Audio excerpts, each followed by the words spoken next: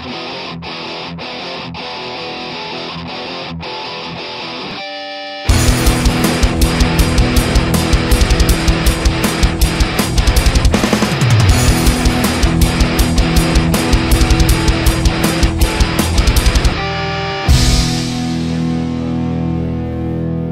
y'all, it's Heel Heat time. Hi, everybody, and welcome to Heel Heat. My name is George Coles, and this is our TNA show for the week. Let's jump right into it with the so so segments for the night. Basically, they weren't bad, they weren't good, they were just there. First one the Hardy Boys, Matt and Jeff versus Jesse Goddard and DJZ. It's the beginning of a tournament to see who the number one contender will be for the tag championships.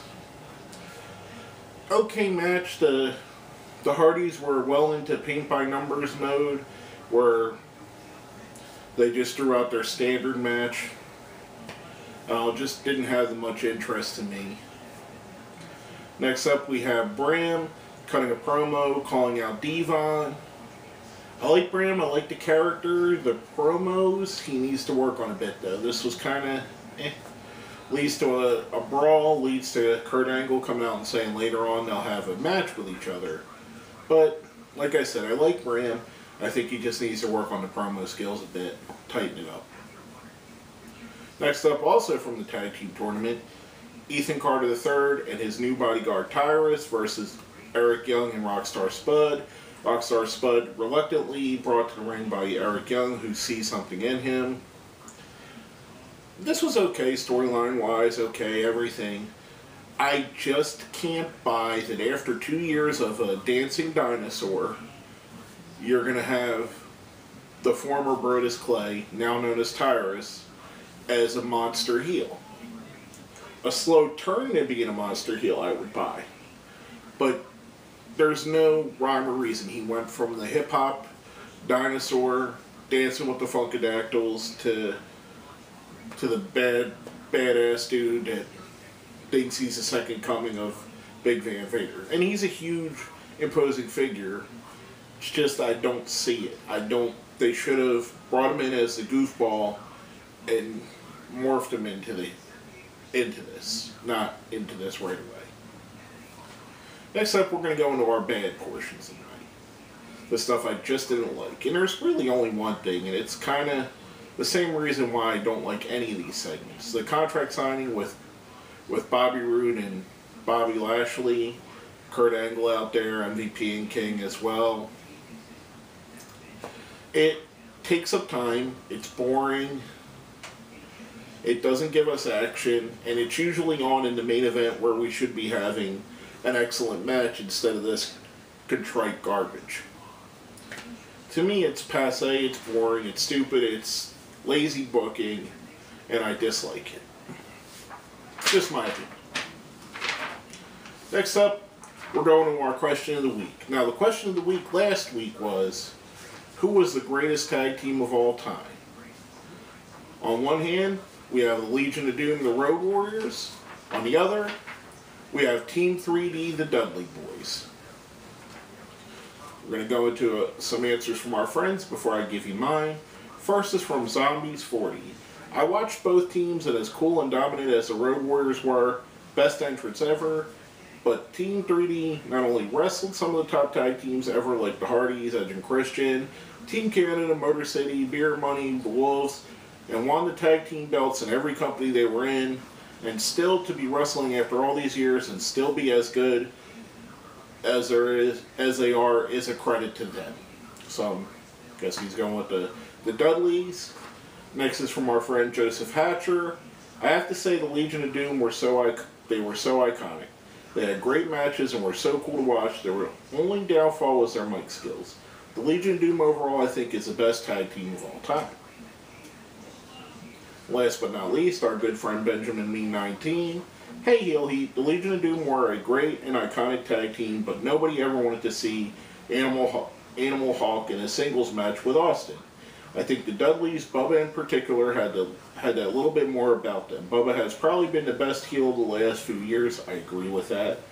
It may have been that LOD's gimmick was too dependent on the tag team, and that giving them singles run would have been starting from scratch, where the Dudleys were only bound by name, but in their case, LOD was too restricted as a team, and there really wasn't an option to give them solo run. As tag teams are so close, but I'd say the Dudleys are better because they will be remembered as just a, that bit more than just a tag team. Interesting logic. I actually didn't even think of putting that into con- conversation, but it does make a lot of sense. If they're even, what separates them from being even? And the solo runs of the Dudley Boyz, specifically Bubba or Bully Ray, had been more successful than any of the solo solo runs of the Road Warriors, either Road Warrior Hawk or Road Warrior Animal. They both had some, but just weren't as successful. I have to go with my boys. The Legion of Doom were my favorite tag team until the Dudley Boyz came around. I don't think enough credit is given to them for how much they meant to ECW, how much they meant to WWE, and how much they still mean to TNA. They were one of the huge drawing factors in, in ECW. They're one of the few tag teams that has headlined a pay per view in three major companies. They headlined at ECW, they've headlined pay per views in WWE, and they've headlined pay per views in TNA. What? Who else can you say did that? The Road Warriors never were the main event in a pay per view, or they may have been, and I might just be forgetting. But I could vividly remember one night stand, ECW one night stand that WWE put on. The main event had Dreamer and the Sandman versus the Dudley Boyz, the classic confrontation. If you know anything about that, that is the biggest selling as far as pay per view buys, non WrestleMania pay per view of all time. So they're a tremendous draw. And I agree with everything everybody said. They've been tag team champions everywhere they've went. They dominated everywhere they went. I think they're the top of the food chain. I love the Legion of Doom. I think they're great. I think they're one of the greatest tag teams of all time, but just a notch below the Dudley Boyz or Team 3D. Just a little bit. I mean, it's kind of apples and oranges. I agree with a lot of the points that have already been made, but I, I prefer, I think the Dudleys, for my money, are the better team. Now, on a somewhat related topic, we seen as we seen in Bram's promo and later on in the match that we'll talk about in a minute here, he is being referred to as the King of Hardcore. Now I have certain feelings about that moniker, and I think he's not quite deserving of that. I think he's a good wrestler. I think he's a good hardcore wrestler. It made me think about it though. My question of the week for this week is who really is the king of hardcore? Let us know what you think. Hit us up on Facebook, hit us up on Twitter, put it down where? Down there in the comments. And finally, we're going to get into the good portions of the night, the stuff I actually really liked. First up, we have Low Ki and Samoa Joe versus Samuel Shaw and Gunner. I enjoy the team of Low Ki and Joe. I think they're a formidable combination.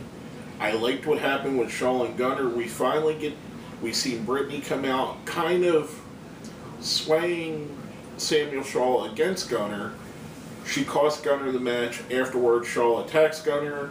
They make out. I think it's going to add a lot to the Samuel Shaw character, which I think is one of the the best characters TNA has. If they keep going on the route they are, they're going in some really cool and interesting territory, in my opinion, with him. And I think I think him splitting from Gunner is just going to make us see more of that, more of that uh, stuff that we that he came in with, the stuff he did with Christy Hemme and the creepy bastard type stuff. But I think it's cool. I like Samuel Shaw. I, I enjoy the character. I think Gunner is a perfect opponent for him. His intensity versus the psychoticness is going to be something that I think will play out well. Next up, we have Rebel, Rebel heading to the ring for a match versus Angelina Love.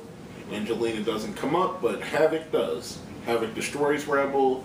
which brings out Gail Kim. They wrestle around and fight. Havok leaves her laying again.